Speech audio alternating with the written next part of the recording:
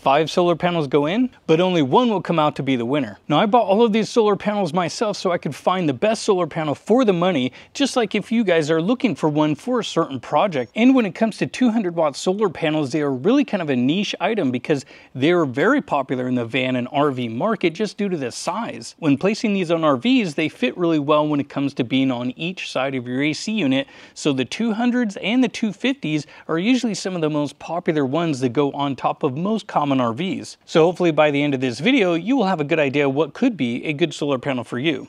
And if you were curious about the RV solar build with the new racking and also these new brackets where I can swap out any panel at will, well make sure you're subscribed and you ring that bell for the future videos coming out soon.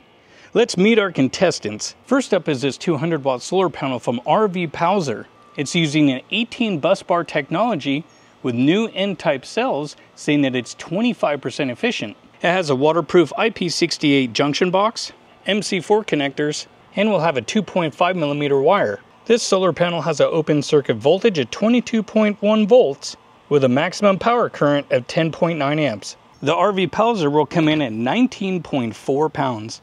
Next up is this new EcoWorthy 200 watt panel. This brand new panel comes with a new bus bar free design. It says its high efficiency solar cells are 25.2% efficient. It does say IP68 rated, but the junction box is only rated at IP67. It'll come with MC4 connectors. It'll come with a 4mm wire, which is larger than the RV Pozwer. This solar panel is rated at 200 watts with an open circuit voltage of 21.6 volts with a maximum power current at 10.59 amps.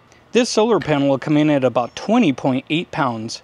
Next up is this Callsun solar panel using half-cut cells with 16 bus bars. Callsun's 200 watt solar panel uses N-type cells and says it has 25% high efficiency, providing higher performance output. The Callsun is also a bifacial solar panel providing up to a total of 30% output while providing a max current of 8.43 amps with an open circuit voltage of 27.31 volts. With the Callsun being bifacial, it'll have two junction boxes, both which are IP68 rated. It'll also come with MC4 connectors. It'll also use a 4mm wire.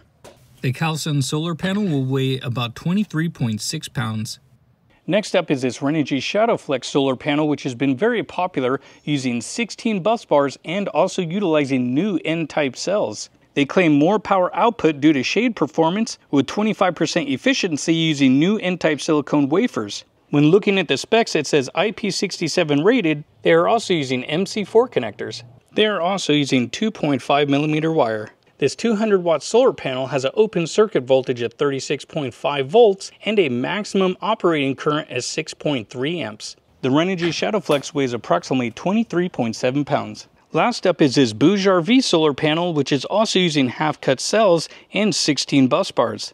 The Bouge RV says it's using TOPCon cells that are N-type for world-leading performance. The Bouge RV is also a bifacial solar panel. It will also use two junction boxes that are both IP68 rated. It will come with MC4 connectors and use a 2.5 millimeter wire. When it comes to specs, there is no sticker on the back of the solar panel to indicate what the voltage or the output is. As we take a look online, our open circuit voltage is 36.4 volts with a maximum of 6.3 amps. The Bouge RV solar panel will come in at just about 22.9 pounds. If we take a look at pricing at the time of this video, the RV Pozwer is the cheapest solar panel at $149, while the Callsun bifacial comes in at 159 179 for the Bouge RV bifacial, 199 for the EcoWorthy, and 205 for the Renogy Shadowflux, again at the time of this video. We'll now measure the square area of each solar panel. If size is a big factor, then the EcoWorthy is definitely the smallest in size, with the RV Pozwer just slightly larger, while the Renogy Bouge RV and Callsun are relatively close in size. The first two solar panels will be the EcoWorthy and the RV Pozwer. Each one will have the same amount of time between 6 and 7 hours to produce the most amount of energy. The test will start when each solar panel is in the sun and the shade hits the first panel. We will track each solar panel's production with these solar charge controllers and also these batteries. The conditions for the next few days will be extremely hot but clear skies with a slight haze. And the test is started between the RV Pozwer and the EcoWorthy. Renogy number 1 and Victron number 1 will be the RV Pozwer. And as we take a look at Victron number 1, again the RV Pozwer was 72 watts, with the EcoWorthy producing about 53 in the early sunlight. As we head to the hottest point of the day, we take a look at solar panel temperatures as we look at the EcoWorthy having a higher temp of 145 degrees versus the 138 degrees of the RV Pozwer. Temperature can have a large effect on overall output. As we look at the temperature just in the shade, we're almost at 100 degrees. After this test concluded, you could see that the RV Pozwer brought the battery percentage up to 50% from the starting percentage of 5. As we also take a look at our overall watt hour production, the RV Pozwer brought in 660 watt hours versus the 450 watt hours of the EcoWorthy. As we take a look at this graph, you can see how our wattage started to climb until it reached the peak of the day. You could see a max of 137 for our max output for this solar panel. Compared to the EcoWorthy, you can see how it starts to go up to around 94 to 95 and even 96 watts at a peak, but never breaking 100, which is actually not impressive for a 200 watt panel. As we move to the next two solar panels, we will be doing the bifacials next, as most RVs do have a white roof, and after previous testing I have found that even just by having a white backsheet and the panels on the ground, I am able to produce a few extra watts per solar panel. All solar panels were also cleaned before each test began and we're off as both tests begin. As we take a look at Renogy number one, that will be our Callsun solar panel with an early lead, producing 97 watts, again with Callsun on number one and BougeRV on number two. As we take a look at the BougeRV solar panel at 157 degrees, and we move over to the other bifacial, the Callsun, pretty much being the same as these builds are very similar as far as design. And even under these hotter temperatures, both solar panels actually performed very well. After this test concluded, we can take a look at our battery percentages with the Callsun having a higher overall percentage gain.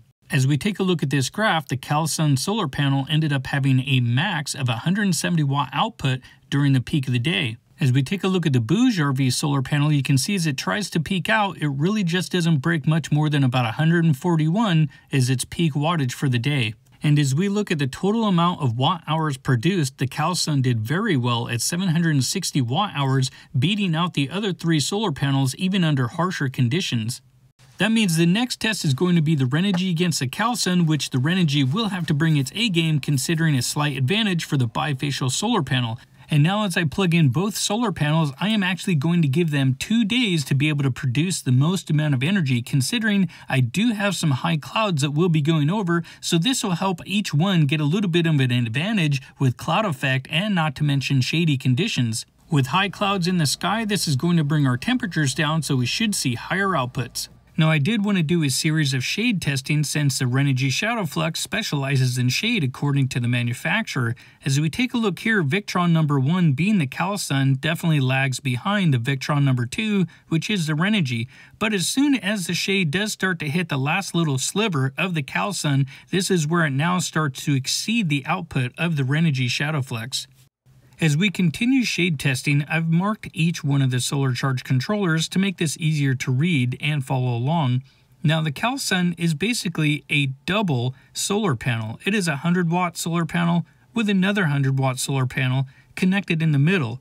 So you will see a bigger drop off in the beginning, but as we continue to move the shade up the solar panels, you'll actually see where it will start to produce more energy as the Renogy Shadow Flux starts to suffer even more once we get to about a third shaded. And as we fast forward just a little bit, you can see we've pretty much covered half of the Renogy Shadow Flux to where now it is not putting out much of any power. As we start to encroach on the second half of the Callsun solar panel, this is where you will now see it start to drop off quite a bit. And as we go up a little bit farther, you can see that our wattage just drops even more to where now our output is negligible. For the average van and RV builder, a lot of times shade does become a problem due to the AC units as you can see here in this example. So this is why shade testing sometimes gives you a better idea on which might be a better panel. As we continue one more shade test, again I'm just going to shade half of the solar cells. And as you can see here, the shadow flux has already dropped quite a bit. And as I continue on to the Callsun solar panel, in this configuration, the Callsun is doing better. But as I continue up to the Callsun now, you can see that we're pretty much the same even though I'm only shading a little bit of the shadow flux. So as I continue up halfway onto the Callsun solar panel, this is where it's pretty much died off. But when we look at the shadow flux solar panel, it actually does a little bit better when it comes to shading at least in this configuration. Overall, this will really depend on how you plan to use your solar panels on which one might be better. Now, as we take a look at the watt hours gained per day, the Callsun solar panel definitely did better each day. And this would definitely be different if you had two solar panels, four solar panels, and you time this by one week, two months, six months, and more. Your energy production would be that much more ahead of the Renogy Shadow Flux. Now, one more thing to look at is customer service and also warranty, as I know people ask me this all the time. Now, one thing with looking at the Callsun website, there is not really much when it comes to information. When taking a look at frequently asked questions or any other type of descriptions, there's not really anything to be had, as it pretty much brings up nothing. When you look at privacy policy, terms of service, there really isn't anything except an email which also says subscribe to our newsletter. It looks like there's not much for warranty information or product support whatsoever, no matter where I look on this website. The only thing there is is this contact email, which you could then submit maybe for a replacement or some kind of warranty information. When looking at the Renogy website, you can see that it looks like it's more put together and obviously has tons of products and is a well-known name. They've been around for years. And when you look at warranty information, contact services, they even have a phone number that you can call. They also have this warranty tab if you want in-depth information about batteries, solar panels, and more. So it just seems like that they might have a little bit more product support versus Callsun really doesn't seem to have any. When it comes to performance, the Callsun did excellent, beating out all the other competitors. But due to lack of customer support and any kind of warranty information, do you go with the known brand Renogy, which does have customer support and warranty information right on the website, or do you go with the best performing panel? You guys are going to have to let me know. And if you have any other suggestions for tests, let me know as I get a lot of ideas from you guys. I hope you guys liked the video, and I hope to see another one.